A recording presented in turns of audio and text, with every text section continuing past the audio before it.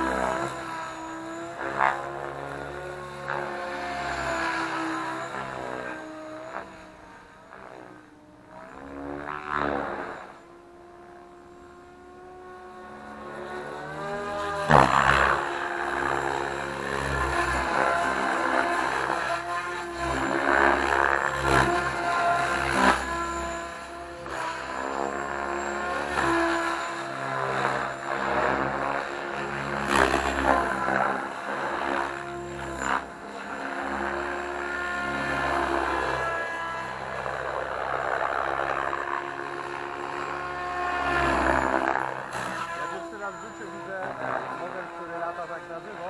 Także dla mnie będzie tak